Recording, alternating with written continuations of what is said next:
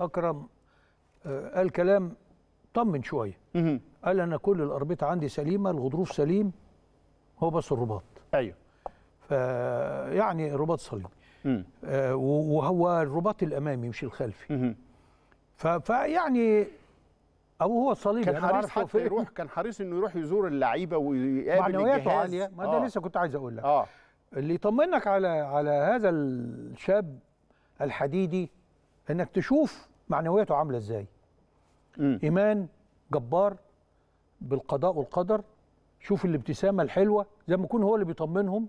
آه. ها زمايله والجهاز آه. كله بيستقبله بالأحضان. يعني هو شخصية جميلة جدا. آه يعني آه، بخته باذن الله يكون كويس مش وحش. إن شاء الله. ويرجع أحسن من الأول.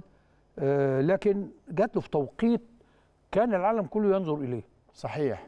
الناس كلها اهتمت انها تدعم أكرم توفيق وكان الدعم الحقيقة اللي له معنى الكابتن أحمد فتحي لأنه أحمد فتحي واحد من أبناء هذه المنطقة ال back right واحد من اللي أكرم توفيق الناس شبهته بيه.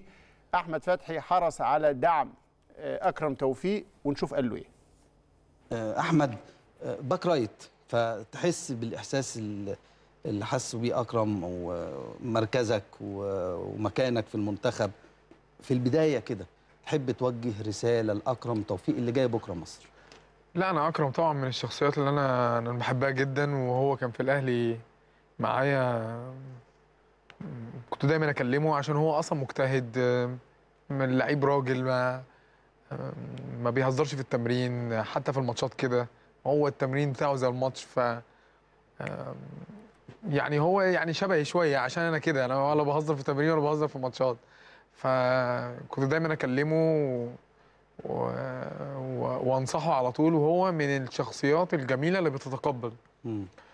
لكن عايز أقول له قدر الله ما شاء فعل في الآخر ده نصيب و- والإصابات دايما واردة للعيب الكورة خلاص الإصابة حصلت هو يفكر إيجابي اللي هو إن شاء الله يرجع أحسن من الأول وإن شاء الله يرجع أحسن من الأول ودي أهم حاجة أهم حاجة يعمل عملية وإن شاء الله يكون سليمة دي أهم حاجة وبعد كده يبدأ التأهيل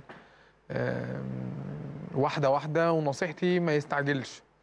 ما يعملش زي دايما في أنا عملت خمس عمليات كنت دايما مستعجل. آخر جملة دي هي الجملة اللي يجب نتوقف عندها. ما تستعجلش أنا عملت عمليات. مم. فلما واحد ب ب ب ب بقيمة الكابتن أحمد فتحي بمجهوده لحد النهارده مم. ده معناه إنه يقدر يرجع من العمليات على هذه الحالة ها البدنية والفنية المتميزة. مم. بس ما تستعجلش. وأنا يعني أرى مش هو بس أي إصابة لا يجب التعجل فيها.